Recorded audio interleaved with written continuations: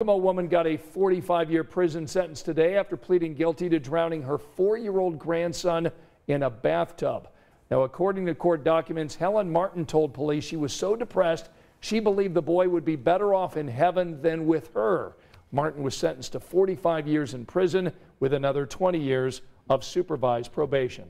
Up in Elwood, there's